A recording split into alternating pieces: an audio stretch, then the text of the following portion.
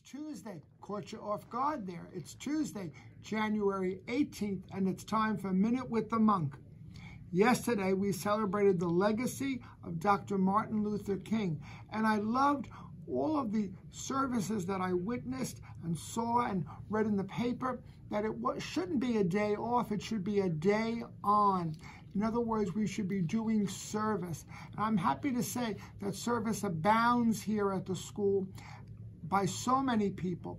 And I think in the country, I saw so many people strive to do service in his honor. And we shouldn't just be honoring Dr. King on a day. We should live out that legacy every day as people of faith.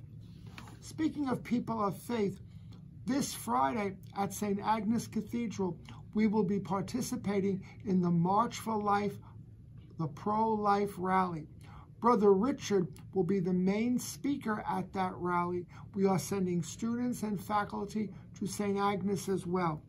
This week, the Pope has asked us to pray for Christian unity, that we may all be united under God. So let's keep all of that in prayer.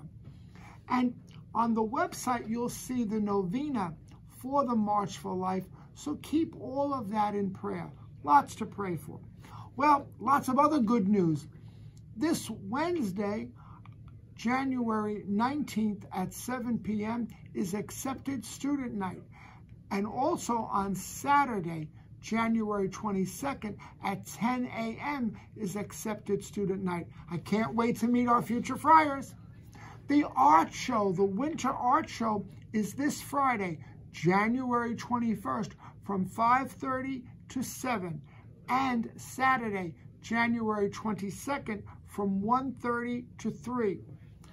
Next Monday, January 24th, the course selection process begins.